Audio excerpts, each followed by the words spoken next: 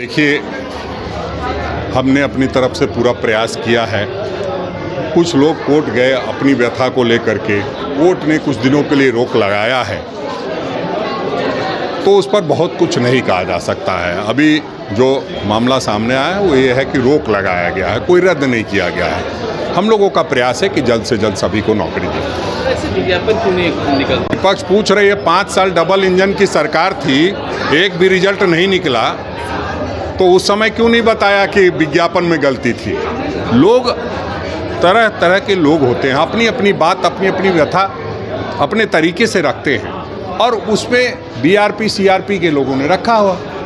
उससे कोर्ट ने कोई थोड़े एक निर्णय दिया है, वो रद्द करने का निर्णय नहीं दिया है। उसको विज्ञापन को रोकने का निर्णय तो इसमें थोड़ी समझ के साथ सारी चीज़ों का निपटारा किया जाएगा, लेकिन कम से कम भारतीय जनता पार्टी के नेताओं को ये कहने का हक नहीं है। न शिक्षकों की बहाली की न पंचायत सच, सचिवों की बहाली की न जेपीएससी से बहाली हुई किस तरह की बात करते हैं? और कोई कहे तो मानूँगा।